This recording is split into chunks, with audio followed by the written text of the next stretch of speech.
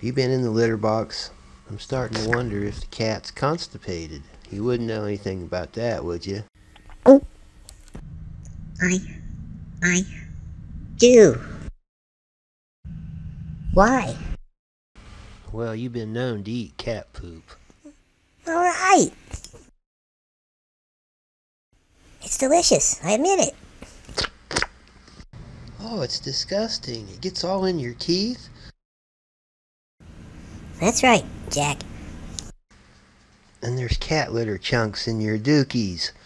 Wait a minute. Hey, I got dibs on those. Dibs? you think somebody's gonna take them from you? Yeah? Flies. Yep, flies.